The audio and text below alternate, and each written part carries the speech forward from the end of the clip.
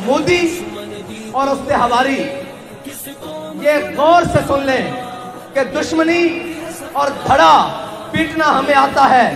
अगर दुश्मनी करने पे आ जाएँ तो हम अपनी कश्तियाँ जलाकर उन उंदलोस आते हैं।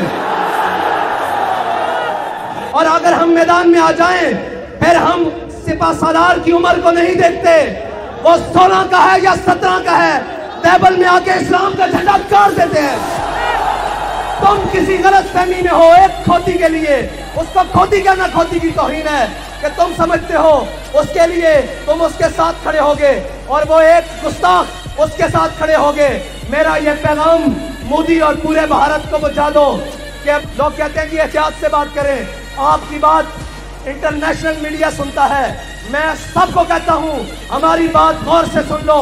जहाँ से गुस्ताख सर उठाएगा, लब्बैक वाले वही अड्डी देंगे।